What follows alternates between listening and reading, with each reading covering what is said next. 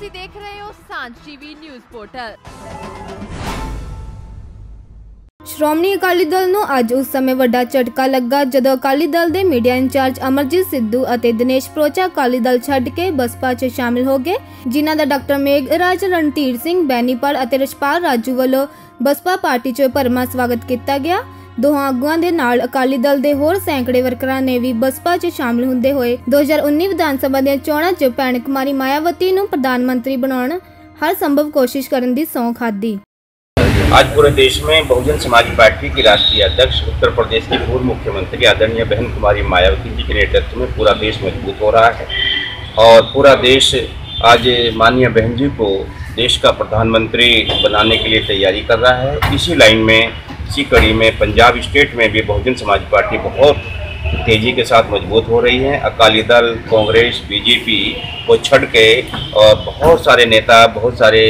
कार्यकर्ता आज बहुजन समाज पार्टी में धीरे धीरे करके शामिल हो रहे हैं। आज भी अमरजीत सिंह जी जो मीडिया प्रभारी हैं, मीडिया के इंचार्ज हैं अकाली दल के, वो अपने तमाम साथियों को छड़ के आज बहुजन समाज पार्टी में माननीय आदरणीय बहन कुमारी मायावती जी में अपनी आस्था व्यक्त कर रहे हैं। और इसी कड़ी में आज हम उनको पार्टी में शामिल कराने के लिए स्टेट के प्रधान श्री रसपाल सिंह राजू जी और हमारे डॉक्टर सुखबीर सिंह जी हमारे अच्छा डॉक्टर नक्षत्रपाल जी और हमारे बेनीवाल जी जो रणबीर सिंह बेनीवाल जी तमाम हमारे साथी मोहनलाल जी आज इधर आए हैं और ये बहुत खुशी की गल है। शाम के वक्त भी बहुत सारे लोग आज पार्टी में शामिल हुए मैं doctor Sukhbir Salahpur parliament incharge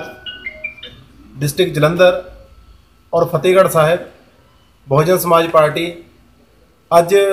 ਬਹੁਤ ਹੀ ਖੁਸ਼ੀ ਦੀ ਗੱਲ ਹੈ ਕਿ ਭੈਣ ਕੁਮਾਰੀ ਮਾਇਆਵਤੀ ਜੀ ਨੂੰ ਦੇਸ਼ ਦਾ ਪ੍ਰਧਾਨ ਮੰਤਰੀ ਬਣਾਉਣ ਦੇ ਲਈ ਸਮੁੱਚਾ ਸਮਾਜ ਜਿਹੜਾ ਆ, ਉਹ ਇਕਜੁੱਟ ਹੋ ਕੇ ਬਹੁਜਨ ਸਮਾਜ ਪਾਰਟੀ ਦੇ ਵਿੱਚ ਵੱਡੀ ਪੱਧਰ ਤੇ ਸ਼ਮੂਲੀਅਤ ਕਰ ਰਿਹਾ ਹੈ ਔਰ ਅੱਜ ਦੀ ਇਸ ਸ਼ਮੂਲੀਅਤ ਦੀ ਕੜੀ ਦੇ ਵਿੱਚ ਸ਼੍ਰੀ ਅਮਰਜੀਤ ਸਿੱਧੂ ਜੀ ਜਿਹੜੇ ਸ਼੍ਰੋਮਣੀ ਅਕਾਲੀ ਦਲ ਦੇ ਮੀਡੀਆ ਇੰਚਾਰਜ ਸਨ ਔਰ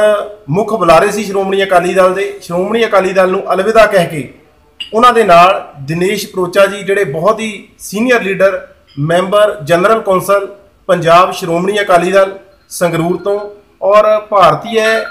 ਜਿਹੜੀ ਭਾਰਤੀ ਹੈ ਬਾਲਮੀਕ ਸਮਾਜ ਦੀ ਐਜ ਏ ਪ੍ਰਧਾਨ ਸੇਵਾ ਨਿਭਾ ਰਹੇ ਆ, ਉਹ ਵੀ ਆਪਣੇ ਸੈਂਕੜੇ ਸਾਥੀਆਂ ਸਮੇਤ ਸ਼੍ਰੋਮਣੀ ਅਕਾਲੀ ਦਲ ਨੂੰ ਵਿਦਾ ਕਰਕੇ ਅਲਵਿਦਾ ਕਹਿ ਕੇ ਬਹੁਜਨ ਸਮਾਜ ਪਾਰਟੀ ਦੇ ਵਿੱਚ ਸ਼ਾਮਲ ਹੋਏ ਆ ਔਰ ਭੈਣ ਜੀ ਨੂੰ 2019 ਦੀਆਂ ਚੋਣਾਂ ਦੇ ਵਿੱਚ ਪ੍ਰਧਾਨ ਮੰਤਰੀ ਬਣਾਉਣ ਦੇ ਲਈ, ਉਹਨਾਂ ਦੇ ਹੱਥ ਮਜ਼ਬੂਤ ਕਰਨ ਦੇ ਲਈ ਤਤਪਰ ਹੋਏ ਔਰ ਸੰਕਲਪ ਲਿਆ ਕਿ ਆਉਂਦੀਆਂ ਚੋਣਾਂ ਦੇ ਵਿੱਚ, ਪਾਰਲੀਮੈਂਟ ਚੋਣਾਂ ਦੇ ਵਿੱਚ ਭੈਣ ਜੀ ਨੂੰ ਦੇਸ਼ ਦਾ ਪ੍ਰਧਾਨ ਮੰਤਰੀ ਬਣਾਵਾਂਗੇ। ਉਸ ਦੇ ਲਈ ਦਿਨ ਰਾਤ ਇੱਕ ਮਿਹਨਤ ਕਰਕੇ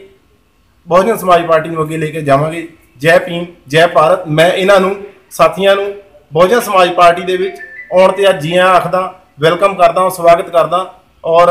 ਬਹੁਤ ਹੀ ਧੰਨਵਾਦ ਕਰਦਾ ਜੈ ਭੀਮ ਜੈ ਭਾਰਤ। ਇਸ ਮੌਕੇ ਵੱਡੀ ਗਿਣਤੀ 'ਚ ਬਸਪਾ ਆਗੂ ਅਤੇ ਪਾਰਟੀ ਵਰਕਰ ਹਾਜ਼ਰ ਰਹੇ। ਜਲੰਧਰ ਤੋਂ ਮੋਹਿਤ ਸ਼ਰਮਾ ਦੀ ਰਿਪੋਰਟ। ਲਾਈਵ ਕੰਸਰਟ ਤੇ ਇਦਾਂ ਦੀਆਂ ਹੋਰ ਵੀ ਗਤੀਵਿਧੀਆਂ ਨੂੰ ਦੇਖਣ ਲਈ ਸਬਸਕ੍ਰਾਈਬ ਕਰੋ ਸਾਡਾ YouTube ਚੈਨਲ ਨੀਚੇ ਦਿੱਤੇ ਹੋਏ ਸਬਸਕ੍ਰਾਈਬ ਐਂਡ ਬੈਲ ਦੀ ਆਪਸ਼ਨ ਤੇ ਕਲਿੱਕ ਕਰੋ ਤਾਂ ਕਿ ਅਸੀਂ ਸਾਡੀਆਂ ਲੇਟੈਸਟ ਅਪਡੇਟਸ ਨੂੰ ਤੁਹਾਡੇ ਤੱਕ ਪਹੁੰਚਾ ਸਕੀਏ।